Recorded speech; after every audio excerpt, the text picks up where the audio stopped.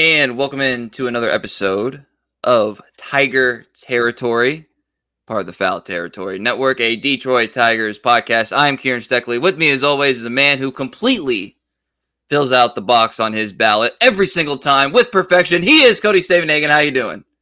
Doing good, Kieran. I'm pretty fired about my pick for Oakland County Water Commissioner. So, Ooh. yeah, did my did my civic duty to vote. We we encourage everyone else to go out there mm-hmm. and vote here in the next couple days. Yeah, and if you have already, kudos to you. And if you're waiting till election day, that's awesome too. That's what I'll be doing. Uh, and I've, over the years, living out of state, blah blah blah, I voted pretty much every single way there is to vote. So, uh, so yeah, it's always always a fun deal. Always a fun deal. You know, I actually I did have a, a weird thought. I was like, do you think like if you, Cody, like, because I'm thinking of it from Scott Harris's perspective, like if there was a Stavenhagen running for president regardless of what the politics were, would you like maybe like try to get a sign or something or like a T-shirt because it like I don't know Steckley for president, Stavenhagen for president. Maybe it'll be you one day. I don't know.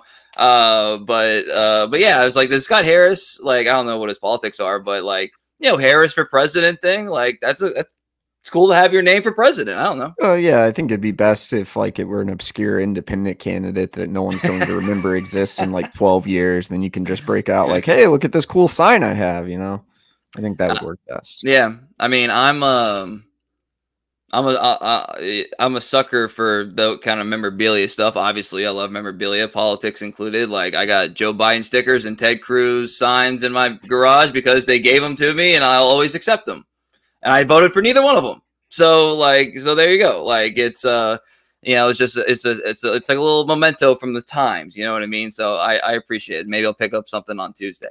Uh, all right. All right. For those trying to kin- uh, pin down Kieran's politics, you're even more confused than ever. Here we go.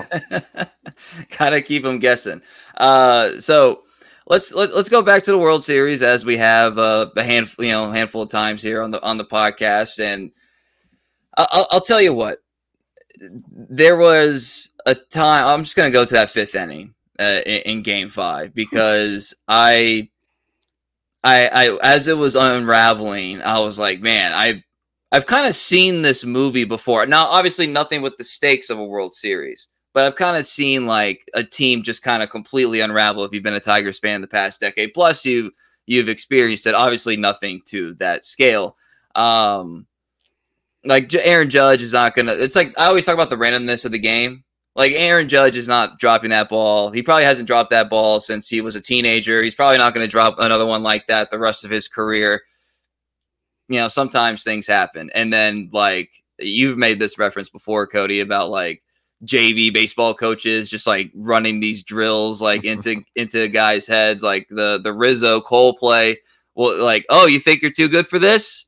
Remember the World Series? Next, yeah. You know, so uh, so yeah, just you know, congratulations to the Dodgers. I thought the Yankees would put up a better showing, even though I think it was a more competitive series than your typical five gamer. Um, but you know, and congrats to Jack Flaherty.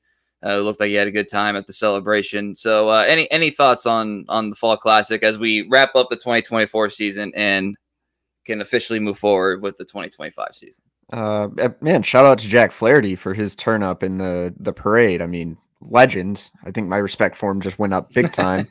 uh, yeah, the Yankees were maddening to watch, man. In a way, it a confirmed my thought that maybe there's a world where which Beau Brieske locates his game fast game four fastball up and away, and the Tigers face the Yankees, and who's to say they couldn't have hung with that team because the Yankees leave a lot of meat on the bone and obviously, that got exposed against a good team like the Dodgers. Kind of makes you appreciate the way the Tigers played in the final two months of the season, where they're just playing such clean baseball, taking advantage of, of the things, as the Tigers like say, on the margins, running the bases, playing good defense. So now imagine you add some talent to this Tigers roster if you're able to continue to do the small things so well because this team had no choice but to do the small things well this past season, like then you could have a pretty interesting product. And the Dodgers are a great example of that. They run the bases really well. They, for the most part, are a pretty good defensive team. They put a lot of pressure on the Yankees, force the Yankees to execute for the majority of that series. And then obviously now you look back, and it's like, oh yeah, oh, they went they won that easily, right? Yeah, well, you know, in regards to like I, I, I was listening to like reactionary stuff from the New York media and you know, Aaron Boone and Cashman aren't very popular. They haven't been for years. Obviously, not going to be any major moves there after you know reaching the World Series. But they always say these things like these: the poor fundamental play is a reflection of you know the coaching staff, which is headed by the manager, obviously, and you know blah blah blah. They go down this rabbit hole of thought that, like, as a Tigers fan, if you're looking for another thing that kind of have a feather in your cap, is that no one's ever really going to talk about your team that way. Like no one's going to accuse the Tigers of not being well coached. You know, I think people are accusing them of that the entire first half of the season. but. well, well, yes, and then yeah, wasn't too long ago we had to have you know AJ Hinch weird conversations. Uh, be yeah. thankful, be thankful he's there. Uh, but but yeah, and there's this postseason kind of taught me that there's multiple ways to to win, and that's um, you know postseason as a whole, multiple ways to uh, I don't want to use the phrase skin a cat, but you know the phrase multiple ways to skin a cat, and uh, and so like it gives me. I felt better about the game coming out of this postseason than I did going in, so that that's a great thing uh, all around. And real, real quick too on this, like Judge is getting creamed. I know like he you know, he had the home run and all that stuff. But for the entirety of the postseason, he's kind of been like the poster child of like what's wrong. Is he going to be the next Don Mattingly who didn't really play didn't play in the playoffs to have a bad playoff reputation, but some some people in New York are calling him Mr. June after Dave Winfield was Mr. May. uh, so I'm kind of curious your perspective generally. Are you one of those people that adheres to the thought, and not necessarily specific to Judge, but like, is there a such thing as like someone doesn't perform in the playoffs, or is it more or less like, like basically is someone a choker or not? Basically, your philosophy on that because that's kind of like an old school thing to go by. It's not really like a data driven uh, yeah. approach, you know, as which is what we do now in baseball more so. But like sometimes people just don't have it in those key moments. I don't know. Yeah, I, I'm not like a huge believer in that, but sometimes there is something to like certain people are built for the moment better than others. Like I think we've seen that. Like, you know, as much as clutch gene isn't supposed to be a real thing in baseball, like I don't know. David Ortiz was pretty good at coming through in big moments in the postseason, you know. So, like, is there something to that? Sure. I don't think this means that Aaron Judge, Aaron Judge is weak or he's a choker. Or, you know, Alex Rodriguez got panned for years for not performing in the playoffs in New York, and and he actually had some okay playoff performances that were just kind of overshadowed by the negativity. Um, you know, you can point to the small sample sizes or whatever. Judge obviously struggled in the postseason, but he also had a couple of big homers. He had a homer off Clase that Yankees might not be in the World Series if if he and Giancarlo don't go back to back off the best closer in the game, you know. And then you look at the other side, no one's really talking about how bad Shohei Ohtani was in the World Series. And granted, the last couple games he was playing through a shoulder injury, but Shohei Ohtani did not perform in the World Series, but his team won. So he's kind of not, you know, those same questions aren't being applied to him.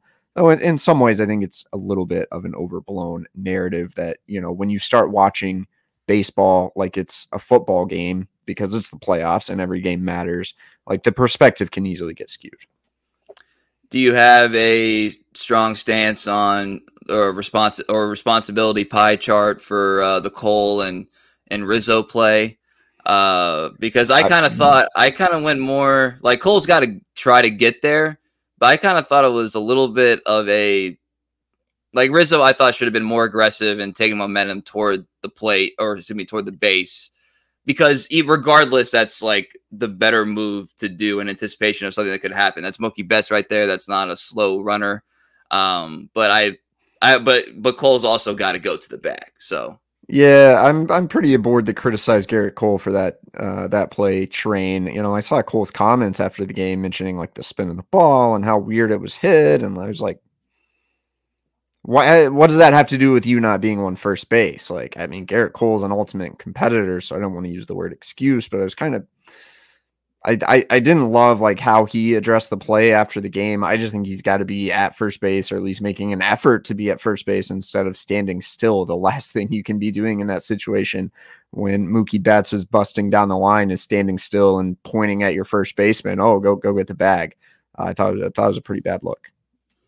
Yeah, it is a bad look. There's no doubt about that. But uh, but yeah, so everybody keep up with the fundamentals. That, that would be that that would be a lesson. That would be a lesson from that game. Even the uh, you know the Volpe play, just a tough play, but still a fundamental aspect to that. So, go say congratulations to the Dodgers, and uh, and we'll see what happens in the Flaherty sweepstakes. What a year for him! What a year for Flaherty! Congrats to Flaherty again because uh, didn't know if he was going to be a starter ever again. Pitches at near all star level, gets traded, wins a World Series, and he's a free agent again. So uh, couldn't could not have been scripted better for your boy Jack there.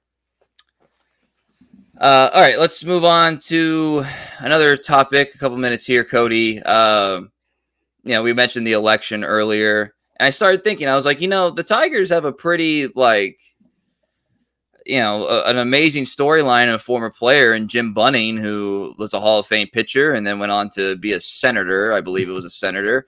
And like, if you're a senator, then I think you're at least partially qualified just in general on the resume to like be president or like run for pre be considered for president, I would say. Not necessarily be president, but be considered for president. So I was like, I don't know, is there what it would have been like when he first went into politics to be like, oh yeah, Jim Bunning, the guy who like you know saw him throw a no hitter or whatever. So like, is there anybody on this team that you deem presidential? This current Tigers team, because you know, speaking of you know Flaherty, who was a union rep, that's a leadership, right? Uh, you know, that's that's something that you know to be taken into consideration. I was like, you know, it seems like everybody loves J-Hen no, it seems like he's he's he's a guy that you know everyone just kind of like has good feelings with, and a lot of times these elections are feelings based. You know what I mean? And uh, so that was something there. Like Matt Vierling's got movie star and politician good looks. There's no there's no doubt about that. And you know, someone as kind of like a deep thinker as like a Casey Mize, like kind of came to mind a little bit. Someone who you could tell like really processes like every move he makes, you know, and uh, and so, so yeah, I was, I was, you know, those are some names. There's some names there. You, do you have any? Uh, you, you're, you interact with these guys. You see them. Cameras on, cameras off. Uh, any kind of tigers that you think, you know, that a little bit of a presidential vibe there. Uh, well, my nat- my mind naturally goes to when the Tigers first hired their manager, and I called his uh, the best man in his wedding, Brodie Van Wagenen. And I said, "What what do you think the first time you met AJ Hinch?" And he said, "Presidential." AJ's got the presidential vibe a little bit, can handle himself in front of a camera, can kind of always say and do the right thing, knows how to manage people. Uh, that's that's a pretty natural choice right there. Obviously, leadership experience. If we're going players, yeah, I, I think you nailed it. Um, J-Hen, man, he's got the great charisma.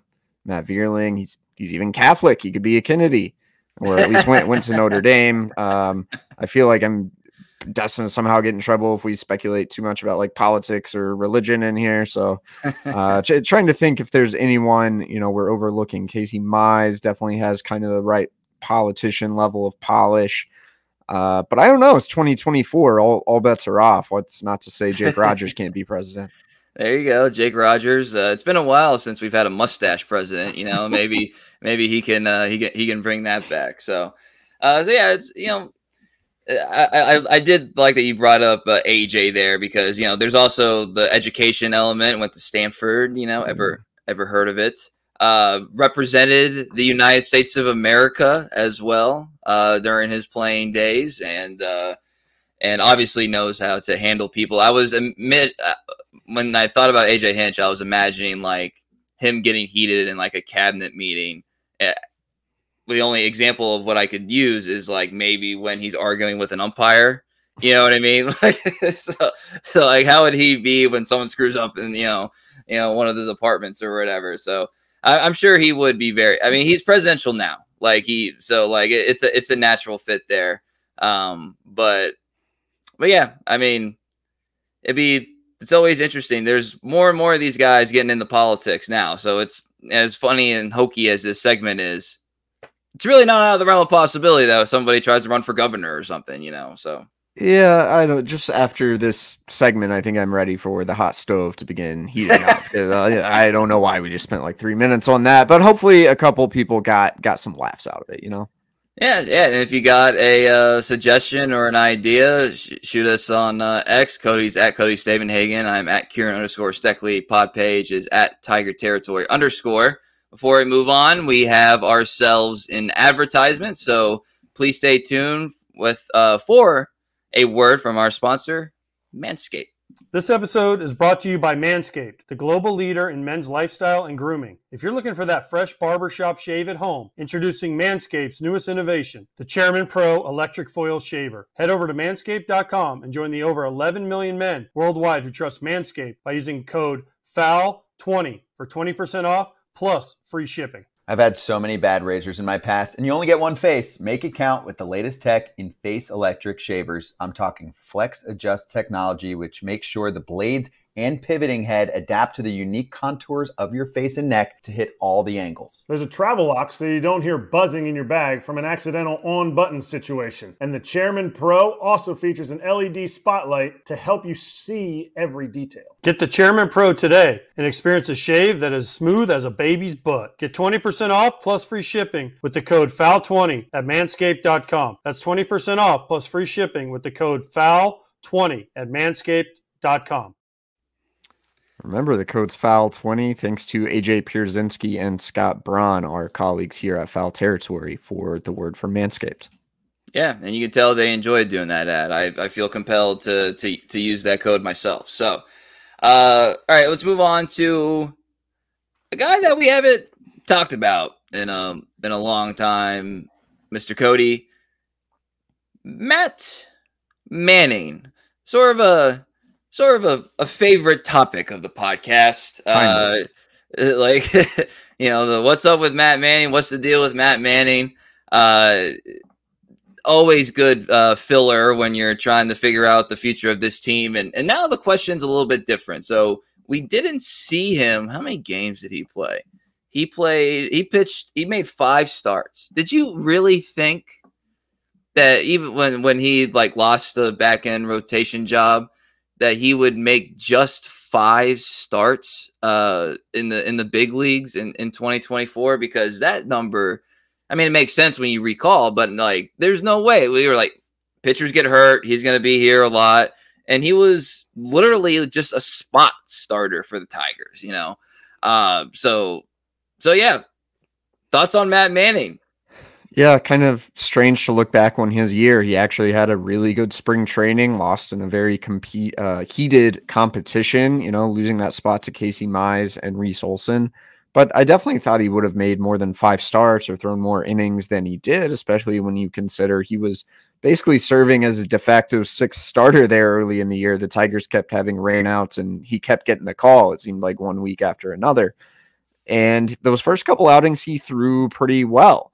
Now, as the year went on, things weren't so good, and he, he struggled a little bit in Toledo, and the stuff wasn't there, and he just could not you know similar things we've seen the velo the the breaking ball looking for the second shape with his breaking ball.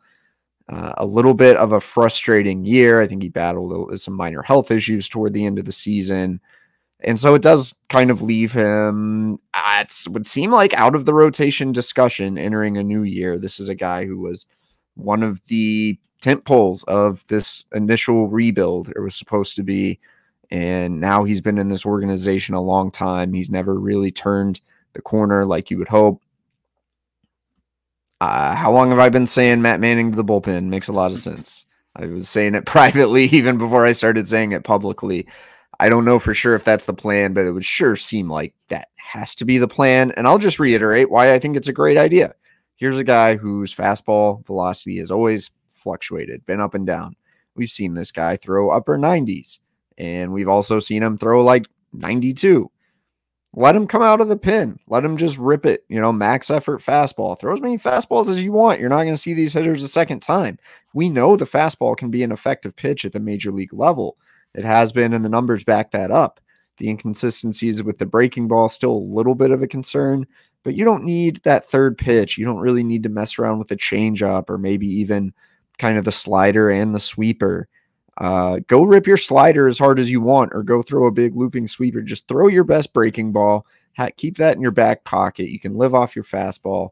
I think there's still a world in which Matt Manning could become a really effective relief pitcher um, if the Tigers are willing to make that move and if Matt Manning himself is willing to embrace that and not let his ego go in the way of what could end up being a really good career transition for him.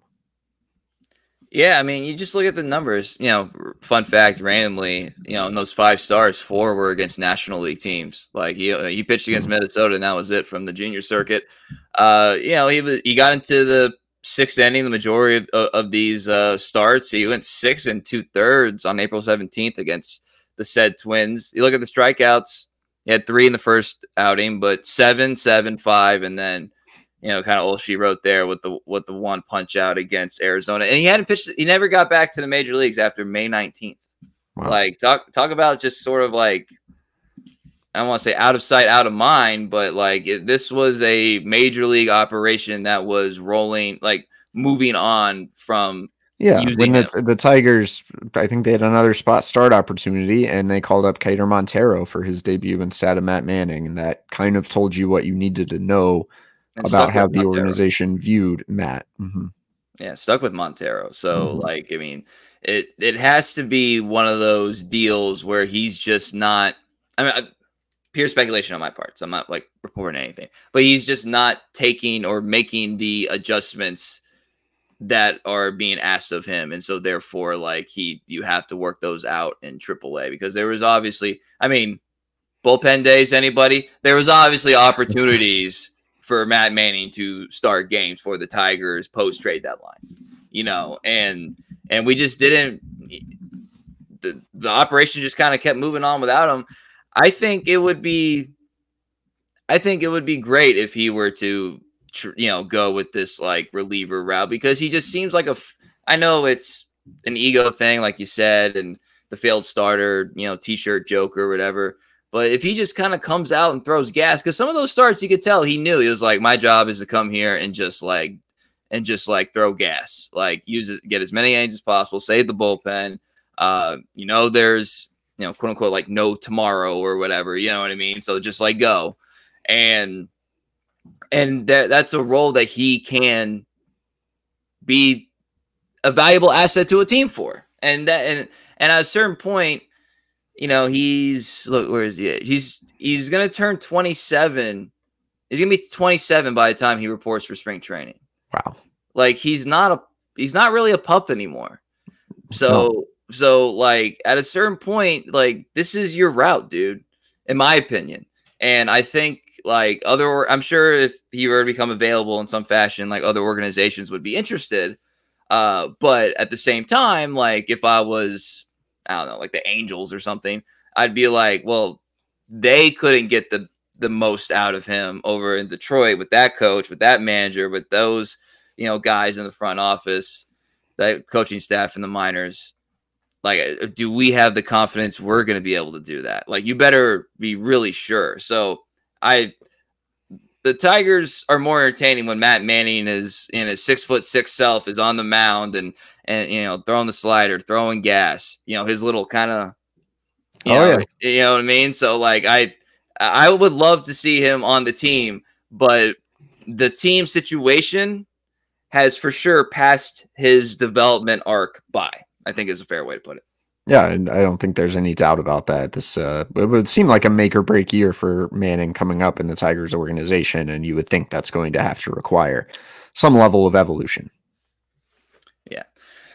All right, uh, real quick here, Cody. Um, I, I I mentioned this probably every episode, but it's one of those things that like I just eh, my mind keeps going there, so I want to keep talking about it. Like if we were to, we're not gonna do this right now, but like eventually this off season, we're probably gonna do something called like, are we sure? Like, are we sure X? Uh, and one of them is gonna be Dillon Dingler. So I actually looked this up uh, because I was like, how important is Dingler? potentially for next year. So Carson Kelly, obviously traded for a couple of years ago and, and and kept on before being traded this past year. Carson Kelly, how, many games did he play? Let's see. I was looking this up. Carson Kelly played in. Now this is not starts, but he played in 60 games. He had 203 plate appearances. that's and for you know, we'll say half the season. You know what I mean? Like that, that that's not nothing. Like that's that, and again, that's not all starts. Some of that's you know some pinch hit stuff. You know, come in for an inning after Rogers gets you know pinch hit for you know whatever. So like, it, I'm not saying he started 60 games, but he was a valuable member of that team and a reliable member of the team while he was here. That's why he was able to be traded for to a team that still had World Series operate uh, aspirations, right? Texas Rangers. So the Dingler thing, that's oh man, now I gotta say a stupid pun. That's Dingler is dangling over my mind like a, a lot because I'm like, uh, I hope, but like in terms of anxiety level about whether it could work, I think it's kind of high. I think it's kind of high because we just don't have as much evidence of like that role. And we've talked about before, but I was I went and looked up how much Carson Kelly was used, and I was like, yeah, I I like that we're bringing this up a second time already in the offseason because it does feel a little bit like mm, Parker Meadows at the start of last year. Like he was, everyone's just like, oh, he'll be the center fielder. It's kind of like, eh, are we sure? And obviously, Parker had to go get sent down, and now we're entering spring feeling great about Parker again. But this is very much Dillon Dingler or whoever is the Tigers' backup catcher is going to have to play a substantial amount. It's not to mention the fact the Tigers went all last season without any injuries for any with either Jake Jake Rogers or Carson Kelly or Dillon Dingler. That just doesn't happen at the catcher position very often. So whoever's your number two, and assuming it's going to be Dingler, like there is some responsibility. Uh, you can't walk into that and hit one. I mean, maybe you can at the catcher position hit 150, but uh, ideally you you're going to want a little more production. You know, I think because you do have someone who, in theory, isn't a pretty established number one, and Jake Rogers, a Gold Glove finalist, like that's they can probably live with it if he's not really producing. But also, given the volatility in Jake Rogers' bat, it would be nice to have a little bit more of a sure thing.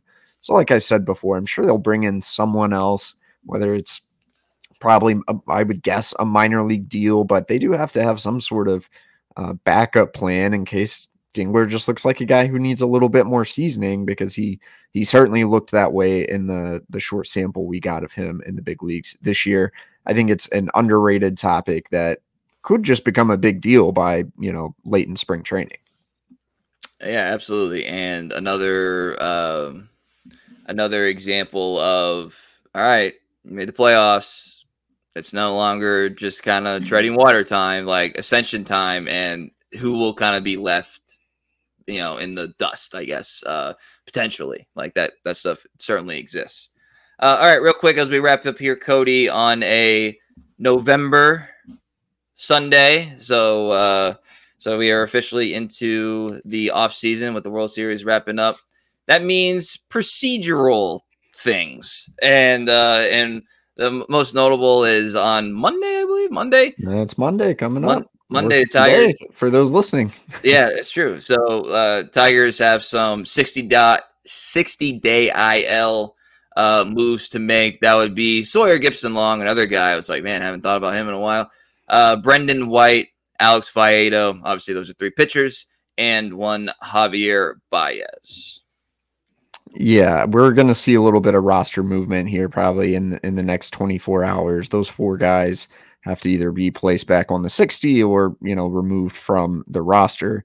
Uh, Javi Baez, I know some of you guys aren't going to like this, but he's a lock. Sawyer Gipson-Long, um, you know, he's recovering from injury. Tigers definitely want to keep him. Alex Faedo, he's been a pretty productive player. Tigers are going to keep him. I think the interesting one is Brendan White. Brendan White, um, really struggled this year, and then he was placed on the 60 day with a right elbow sprain. Um, did he end up getting Tommy John? Do we even know the answer to that? Look this up live. Have the uh, producers check it here. Um, I don't think he did. Am I wrong? A right radial nerve injury. That's right. He had a hydrodissection procedure. So a little bit tough to even know I would assume, you know, what his health status is. Uh, that kind of it, it, looks like he's expected to have a standard offseason strength and conditioning program. He threw a bullpen in September. So there's the latest one, Brendan White. He would seem like the guy the Tigers eh, probably not going to keep. I think in maybe another world, even a couple years ago, type of dude who could stay on the 40 man roster because it wasn't all that long ago. He was a little bit of a reliever on the rise, another late round pick, uh, 26 round pick, in fact, came out of nowhere, pitched well in the minors, has really nasty stuff, a sweeper that averaged 2,800 RPM and has averaged even more than that, a good slider. His fastball doesn't get talked about a lot, but in his short big league stint in 2023, opponents hit 162 against his fastball. So I think you would like to keep Brendan White in the organization, but I'm not sure, given other moves you have to make, you can keep a 40 man spot for him. Uh, I have a hunch he's probably going to be removed from this roster here. And then, kind of, the question is would someone else take a chance on him via waivers, especially given maybe a little bit of uncertainty about his health? I don't know, but uh, I, I, you know, I like Brendan White a lot. I think he has a lot of potential. It was a difficult year for him for sure. Um, even when he was pitching in the minor leagues, he just was not right. Um, did not have good numbers. He had a 7.36 ERA and well, he only threw eight games in the minors, seven innings. He was hurt most of the year. So I think that'll be kind of the, the more interesting one to both watch here on Monday and, and maybe follow going forward this offseason. Happy early birthday to Brendan White, who will turn 26 on the 18th of this month. Mm. So so there you go. So always got to bring up the age with these guys. It shapes uh, shapes perspective uh, there for sure.